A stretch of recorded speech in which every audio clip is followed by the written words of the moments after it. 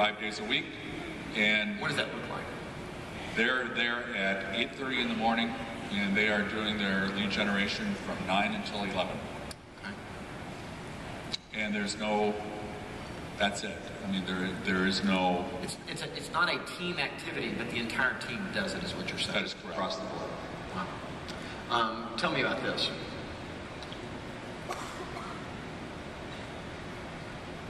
The buyer board.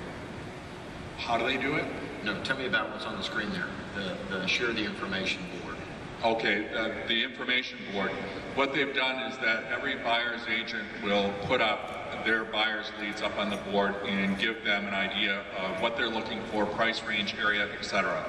Wow. So as each of the buyer's agents are going out and previewing properties every day, they're coming back and they're letting the other buyer's agents know the hot properties, the great values. Looking at real estate, there, there, there, there's a sheet of paper I'm looking at, right? There's a, there's a sheet of paper, rating sheet that they fill out on anything they preview. That is correct.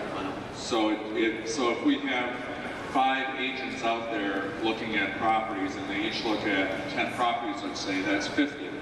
Well, one agent obviously would take how long of a time to look at fifty properties, whereas in sharing the information, they're splitting that up and really, um, making it quick. That's powerful.